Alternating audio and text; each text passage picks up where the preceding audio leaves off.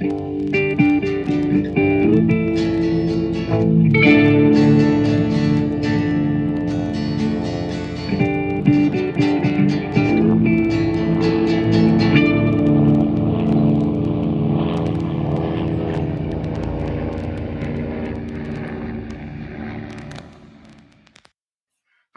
und herzlich willkommen zu einer neuen Folge Mesh unter Messer. Mein Name ist Dela und bei mir ist der wundervolle Flo. Hallo Flo. Hallo Dela, und weißt du, was es heute gibt? Nein. Heimatnachrichten. Ja. Also genau genommen gibt es heute Doppelpunkt Heimatnachrichten. Oder im Englischen Mail Call again. Okay. Ja. Ja, es Das ist also im Prinzip wieder eine Dear Dead Folge, nur mal etwas anders erzählt.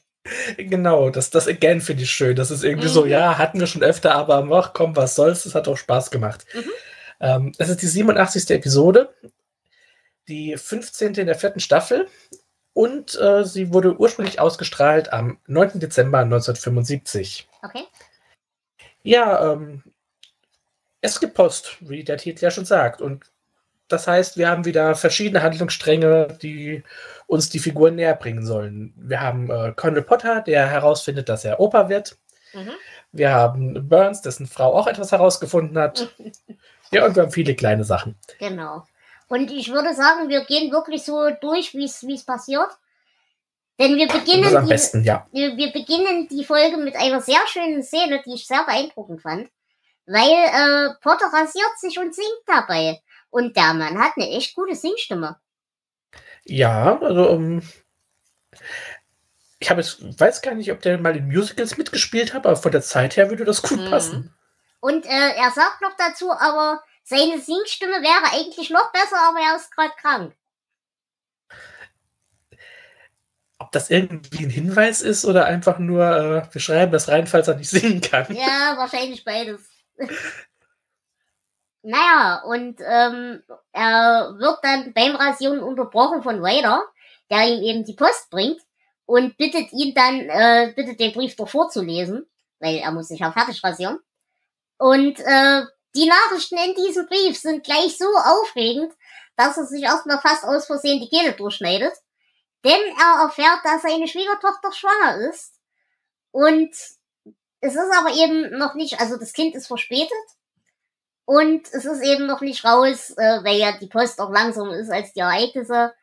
Äh, ist es nur ein, ein Junge oder ein Mädchen? Wie schwer wird es? Wann wird es nun wirklich geboren sein? Deswegen machen wir einen Wettpool auf. Ja, wann wird unser guter äh, Colonel Opa? Wir wetten einfach auf den Tag und auf das Geschlecht des Babys. Und aufs Und- Gewicht. Und das Gewicht. Und das sind natürlich hier unsere äh, Ärzte voll Mhm. dabei, weil man macht ja alles, um an den langweiligen Tagen irgendwie sich beschäftigen zu können. Richtig. Wobei ich lustig finde, das Gewicht hat, glaube ich, in der ganzen Folge niemand geschätzt. Nee, ich kann mich auch nicht dran erinnern. Ja, aber äh, Potter ist ja nicht der Einzige, der Post bekommt, sondern auch Hot Lips. Und jetzt haben wir wieder einen schönen Bogen zur letzten Folge, denn sie ist so aufgeregt über dieses Paket und freut sich so sehr, dass sie dieses wunderschöne schwarz-rosa Negligé vor den Augen von Raider auspackt. Oh Gott, der sich- arme Raider, ja. Genau das, wo sie sich ja vorher erst noch drüber aufgeregt hat in der, in der letzten Folge, dass er ihr sexuell aufgeladene Blicke zuwirft. Ja, sie bekommt also ein Päckchen von Fredericks of Hollywood und ähm, ist ganz aufgeregt und will es dann auch direkt äh, Frank aber Frank ist gar nicht so ähm, Mhm. so daran interessiert, denn auch Frank hat Post bekommen und ja, Raider hat es auch versehentlich gelesen, was da drin steht. denn seine Frau hat erfahren, dass er eine Affäre mit Margaret hat und möchte die Scheidung. Mhm. Ja. Also irgendjemand, der in Korea war, kam nach Hause zurück und hat Mrs. Burns Yep.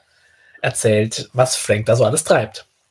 Und das Allerbeste fand ich eigentlich an dieser Szene auch wieder, wie unbedarft und süß und naiv Ryder ist, weil äh, er erzählt das ja, dass er aus Versehen selbstverständlich den Brief gelesen hat. Ähm, und BJ und Rockeye sagen so sinngemäß, naja, äh, da wird er sich in den Kopf schießen, wenn er das mitkriegt. Und Raider ist völlig verwirrt und Ja, aber ich dachte, er freut sich, wenn seine Frau sich scheiden lässt, damit er Frau Houlihan heiraten kann.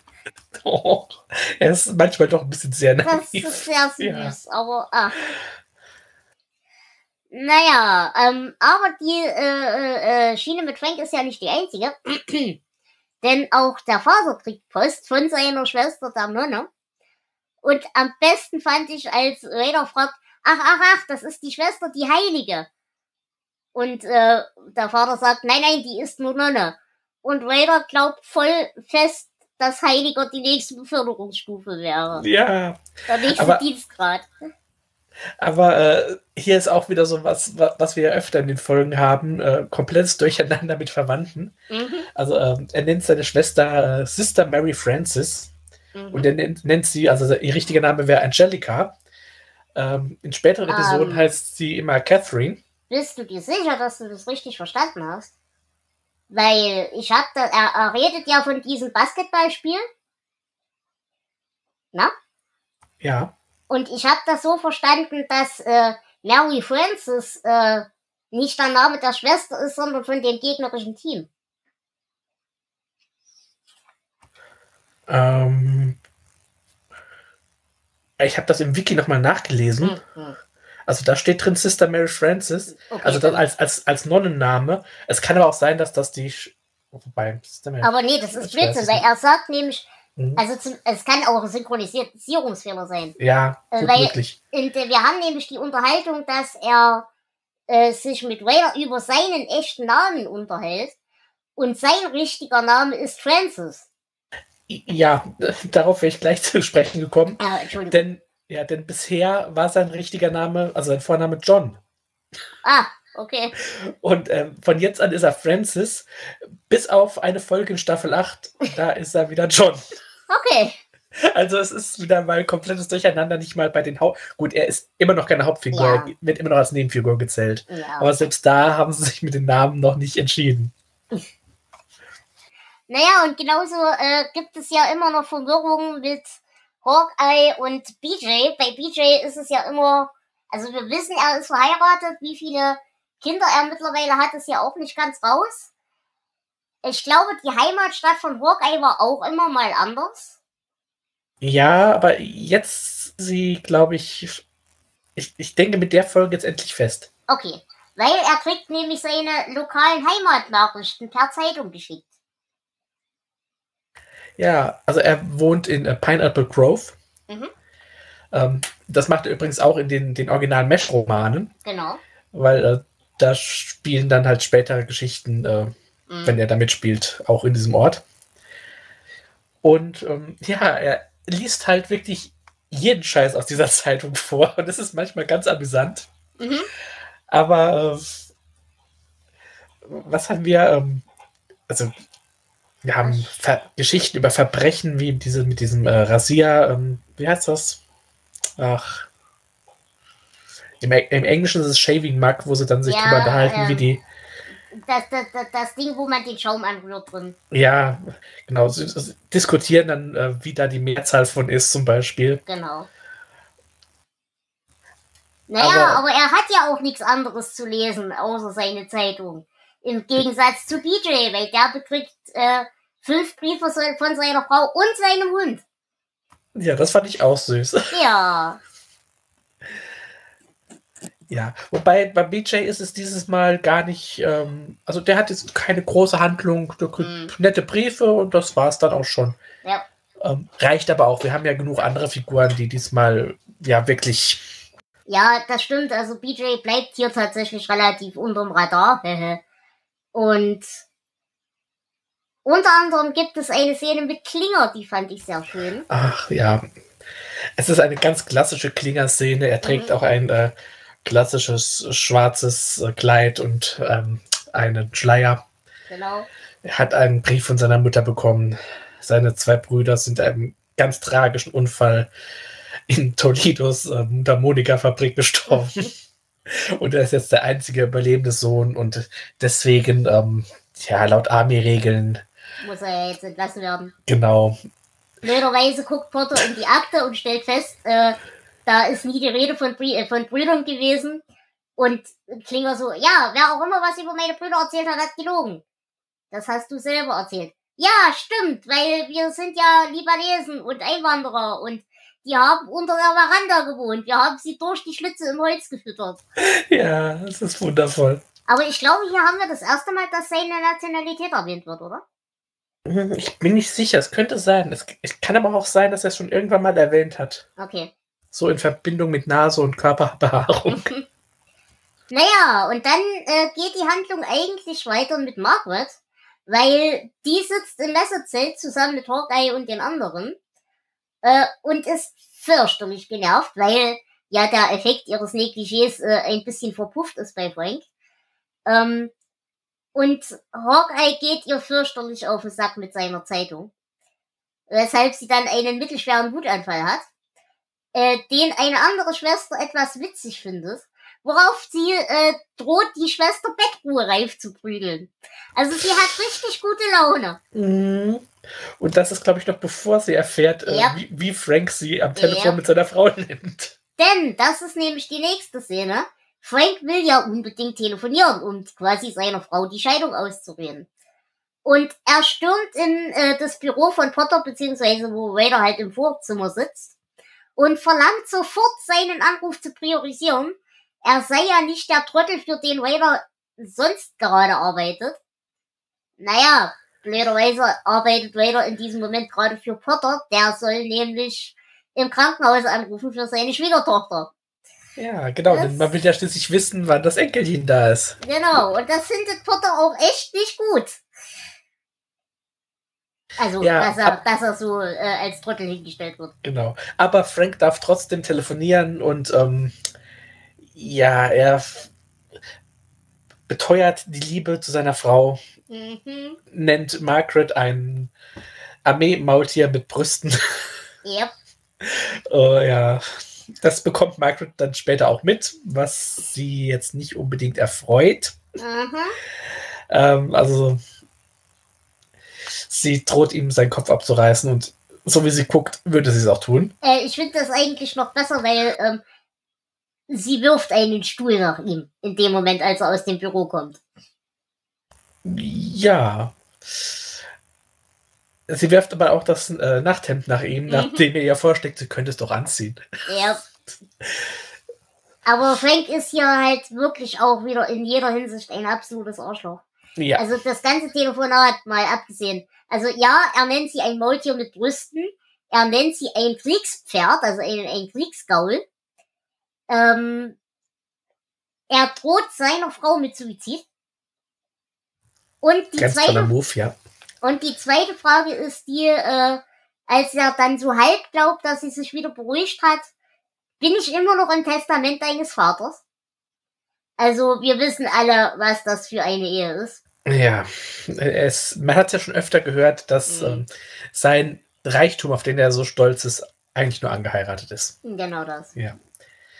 Ja, ähm, die Folge ist sowas wie der Startschuss ähm, für etwas, das dann in der, am Anfang der nächsten Staffel tatsächlich in Folge 100 ähm, Mhm. ja wirklich passieren wird. Also hier beginnt langsam die Trennung von Frank und Margaret. Ja. Und äh, ich muss sagen, endlich. Oh ja, auf jeden Fall. Also so- sie, auch wenn sie nicht immer sympathisch ist, sie hat doch so viel Besseres verdient als Ja. dieses Arschloch. Das stimmt auf jeden Fall. Ja. Ja. Aber wir haben noch nicht alle Post besprochen. Genau. Denn auch Raider hat was bekommen. Und das ist wieder sehr, sehr süß. Ja, denn wir haben ein Heimvideo für Raider gekriegt.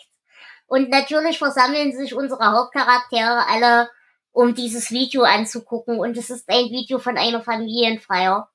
Und wir sehen Raiders Familie. Natürlich ist es Raider selbst in Klamotten seiner Mutter. Ja, Also Gary Burkhoff quasi wiederverwertet. genau. Also ähm, aber es, es ist funktioniert aber. Ja, es ja. funktioniert. Ja. Das ist.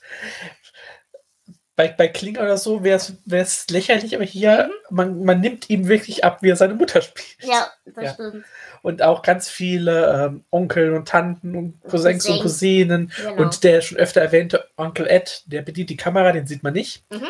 Und am Ende, ähm, also man hat natürlich keinen Ton, aber man sieht, wie seine Mutter sagt, I love you, Walter. Mhm. Und das äh, bringt Raider dann doch auch zum Weinen. Also eine Ja, sehr schöne Szene, ja. Das stimmt. Aber nicht nur Vader, weil Vader wird gerettet, denn äh, es klingelt in dem Moment das Telefon und während ihm noch die Stimme bricht, rennt er natürlich zum Telefon, um sich darum zu kümmern. Und das ist dann die Ankündigung, dass Potters Enkelin tatsächlich geboren ist, dass es ein Mädchen ist und am 23. geboren. Sherry Pershing Potter. Ja, und ich Ja. finde das lustig, dass sie Pershing heißt. Ja, genau. äh, der Vater hat dann übrigens äh, den Babypool gewonnen Mhm, genau. und die Ärzte schmeißen eine, ja, eine Party für den Colonel im Sumpf und Klinger modelt ein bisschen, denn er hat äh, im Müll ein echt schickes Nachthemd gefunden. Das ist auch wieder eine, eine nette eine, eine, Abschlussszene. eine schöne Szene fand ich auch noch. Wie gesagt, Potter fängt ja dann auch vor Rührung ein bisschen an zu weinen, als die Nachricht kommt. Und Hawkeye auch und wird auch darauf angesprochen, dass auch er Tränchen in den Augen hat.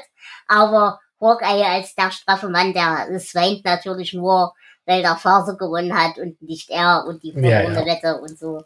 Genau. Ja, ja, genau. Ach, ach.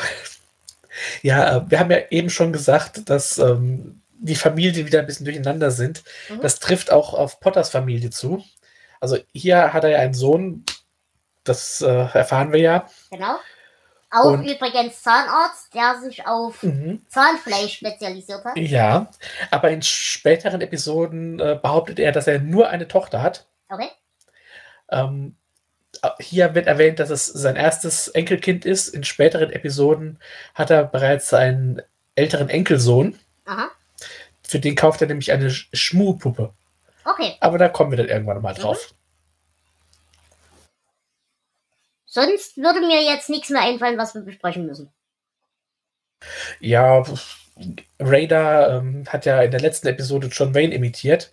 Mhm. Ähm, diesmal versucht er, äh, Margaret mit einer Imitation von James Cagney aufzuheitern. Ähm, ist natürlich nicht ganz so bekannt wie, wie John Wayne hier im Ja. Deutschen, würde ich sagen. Ja.